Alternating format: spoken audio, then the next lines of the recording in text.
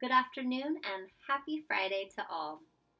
With some trial and error, I want to make my videos useful to anyone or any company that needs promotional gifts, giveaways, awards, apparel, etc. With that in mind, it's time for Friday's fun fact of the week.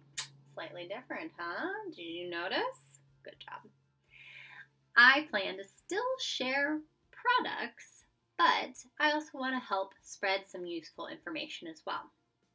Promotional products make up a $24.7 billion industry.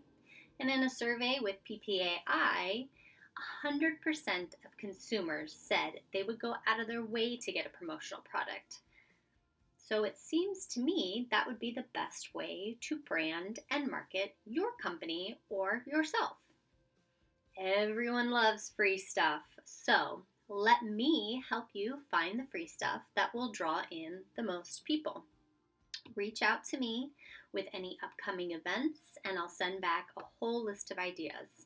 In fact, I just had a customer compliment me and say, I appreciate that when I ask for something, you always send several suggestions for me to browse through. Before I sign off for today, I have a question for you all. Pay special attention because there may be a prize involved. According to a website that I found, and there's a few different variations, but promotional products started in some form or another over 700 years ago. Yep, 700. I said that correctly. So, what was one of the first items to be distributed as a free giveaway? Comment below.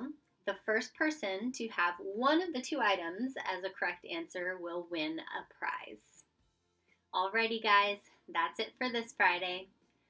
Comment to win a prize and subscribe to my video for updates on all things promo. Thank you all, and until next week, have a fabulous Friday.